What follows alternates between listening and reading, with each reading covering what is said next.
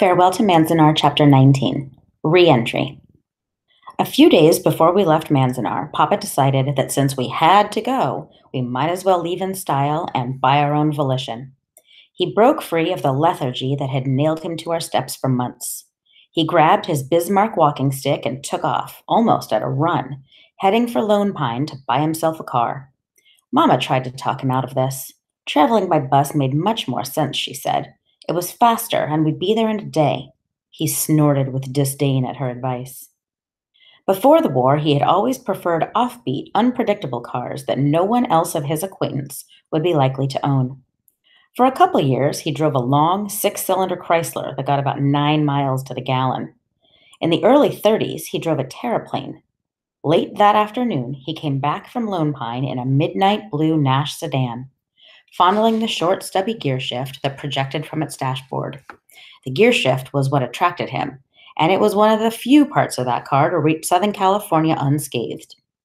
To get all nine of us, plus our clothes and the odds and ends of furniture we'd accumulated from Owens Valley, 225 miles south to Long Beach, Papa had to make the trip three times. He pushed the car so hard it broke down about every 100 miles or so. In all, it took four days. I went in the first load with Mama and May and a back seat heaped to the ceiling with dishes and lamps and bedding. A double mattress was tied to the roof. We could have been an Okie family heading west, while Papa, in his wide brimmed hat and turtleneck sweater, drove like a wild man, as if he couldn't wait to get back to civilization. I didn't understand this. After all the stories we'd heard, each time the car collapsed, I prayed we might be stranded there indefinitely. But he could leap out, cursing, and bully it into motion again, fix the tire, replace the fan belt, kick the radiator, whatever was required. I still see him standing by that desert road in the hot shade of a great saguaro cactus, the blue hood open, as he shouts at the engine in Japanese, damning it and damning the man who sold him this car. He slams the hood shut in disgust, ready to attack it with the butt end of his cane. And that slam, as if by insult, somehow starts the car so that Papa has to jump in and grab the steering wheel and get that dashboard gear knob before the Nash drives away without him. When he came back from Lone Pine, he was drunk on the first real whiskey he had tasted in years. He was drinking all the way past Mojave and into the northern suburbs of Los Angeles. There, he suddenly sobered up, and his mood began to match what mine had been since we drove out of the main gate as if what we all had been dreading so long was finally to appear at any moment without warning. A burst of machine gun fire, or a row of Burma shave signs saying, Japs, go back where you came from. The stories, the murmurs, the headlines of the last few months had imprinted in my mind the word hate. I had heard my sisters say, Why do they hate us? I heard Mama say with lonesome resignation, I don't understand all this hate, hate in the world. It was a bleak and awful sounding word.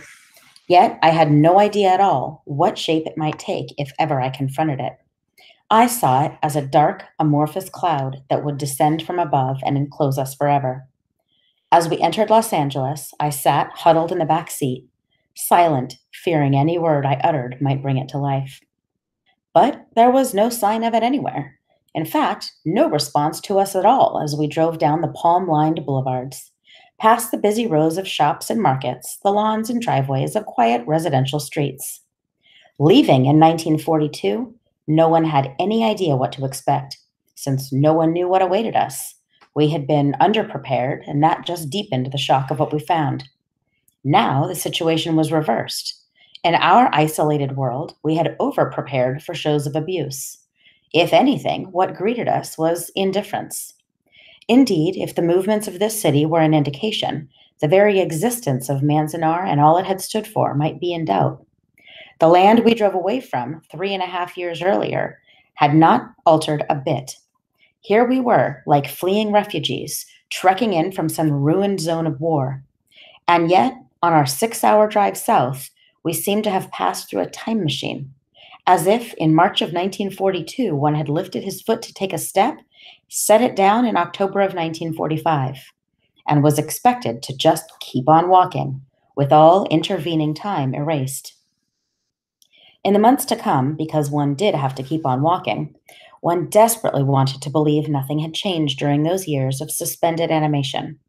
But of course, as we soon discovered, everything had. Our most immediate problem was where to live. What Papa had read in the papers was true. Housing was short and getting shorter. During 1944, over a million people had moved into California from the South and Midwest.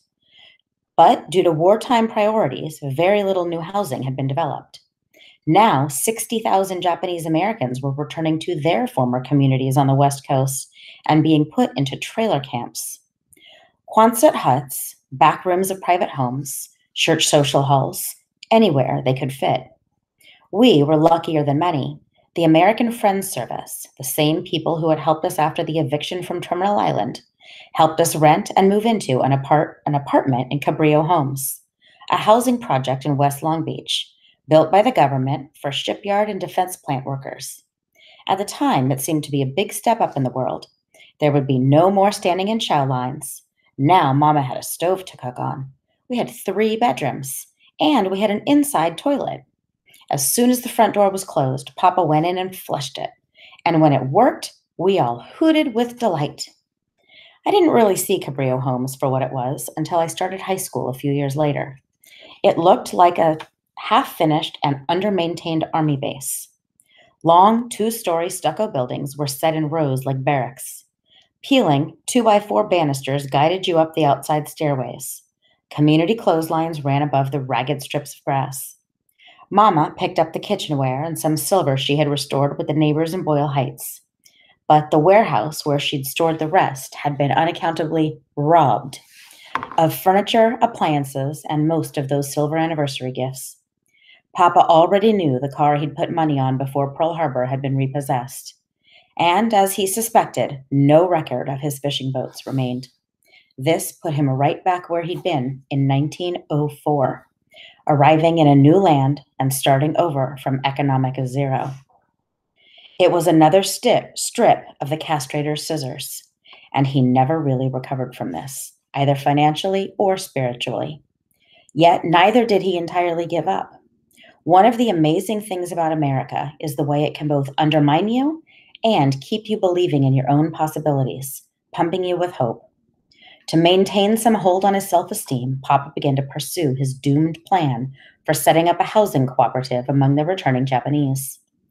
In our small front room, he built a drafting table and worked on sketches for what would become the thick pile of blueprints he carried to households and civic offices all over Los Angeles County looking for support.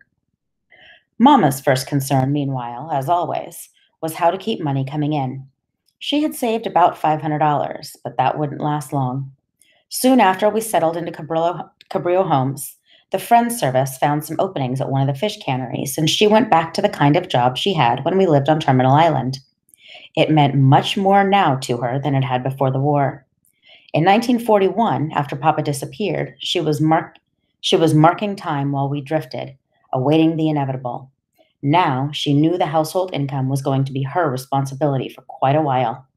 Papa would never accept anything like a cannery job, and if he did, Mama's shame would be even greater than his. This would be a sure sign that we had hit rock bottom.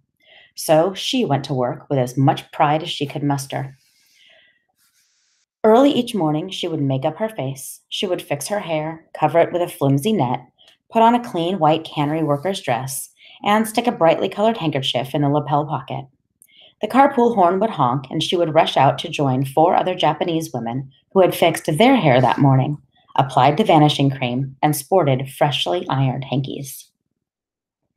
As for me, the shapeless dread of that great dark cloud in my imagination gradually receded, soothed away by a sky the same blue as, it had always been, lawns the same green, traffic signals that still changed with dependable regularity, and familiar radio programs to fill up the late afternoons and evenings.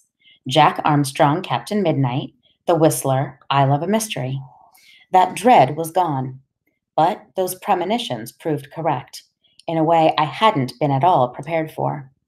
On the first day back in public school, when the shape of what I truly had to deal with appeared to me for the first time.